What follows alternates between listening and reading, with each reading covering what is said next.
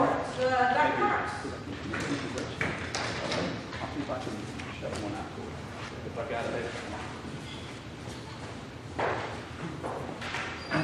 Uh, Qualifying for the municipal offices is the last, last week in, in August, so uh, we've got uh, on the uh, city council, uh, vacancies coming, coming up, uh, and then the small municipalities in the, in the county as well, both the mayoral and uh, council, council elections.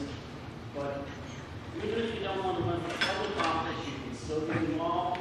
Uh, Boards and, boards and commissions, please go to the city website, take a look at the vacancies that are available.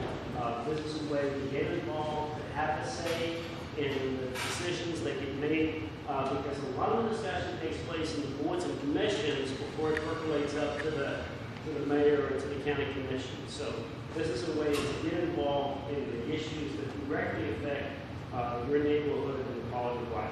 Thank you.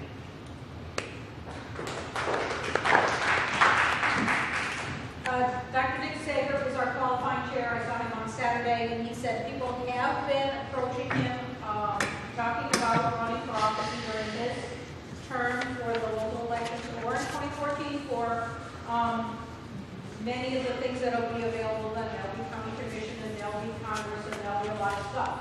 Um, we really need to pay attention and have our thinking caps on for who do we think will be a good candidate? Remember that part of our county remains in the first congressional district.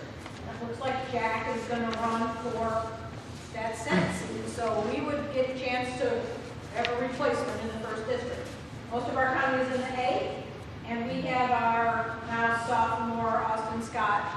representing us not very well in my mind. So we need to really think about who do we know who would be a good candidate and urge that person to run. Um,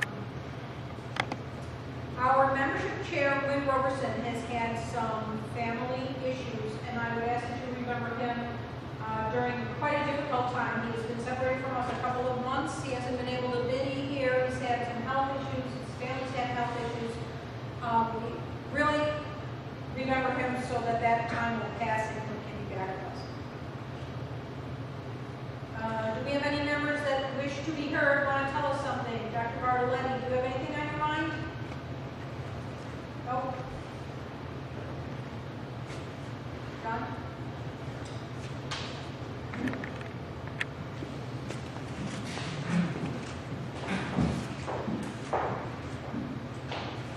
I'm a satisfied customer the Miles County Extension, and I'm pleased to say that our well tested negative for arsenic. But I recommend everybody else get theirs tested.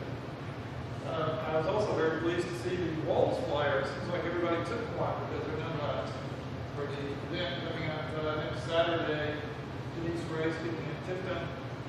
Uh, WWALS Watershed Coalition, one of our associates, Janet McMahon, is the woman who discovered this problem of arsenic in the water. She discovered it three years ago when her son mysteriously got cancer.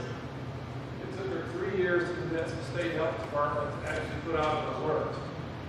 And indeed, it's mysterious where it comes from. I'm not convinced it's all natural, but no one ever knows for sure. It would be well worth the time to get your well tested. And uh, if you've never heard Denise Ray speak, you're missing a treat go uh, Saturday at Tifton. Thank you.